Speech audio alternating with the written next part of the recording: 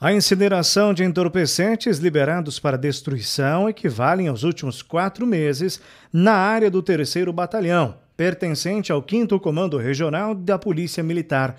A incineração foi realizada e auditada pelo capitão Guido Benjamin dos Santos Filho, comandante da primeira Companhia de Polícia Militar, acompanhado de outros oficiais da polícia e funcionários da Vigilância Sanitária da cidade de Pato Branco. Nós fizemos a primeira queima, a primeira incineração de drogas entorpecentes no mês de janeiro.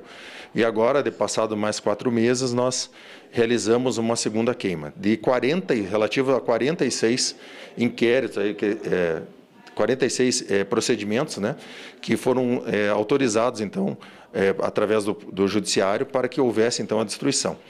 São pequenas quantidades de entorpecente, mas representam, né, no todo, várias prisões aí realizadas, porque às vezes um indivíduo é, é detido, é encaminhado com apenas um cigarro de maconha, ou uma bucha de cocaína, às vezes uma pedra de crack é o suficiente para o seu encaminhamento. Então foram drogas diversas, né, mas que agora foram destruídas e é importante para a Polícia Militar mostrar essa transparência. Vários órgãos foram convidados para estarem presentes nessa destruição e como o reforço novamente não é uma grande quantidade de droga, porque nós fazemos é, apenas o encaminhamento de drogas é, que estavam sendo utilizadas para o consumo pessoal. Né? Situações de maior quantidade são encaminhadas para a delegacia e daí caracterizam o crime de tráfico de entorpecentes. Por isso, daí a destruição é feita pela Polícia Civil, também após autorização do Poder Judiciário. De acordo com o ato circunstanciado de incineração e destruição de drogas e objetos, foram incinerados 224,6 gramas de maconha,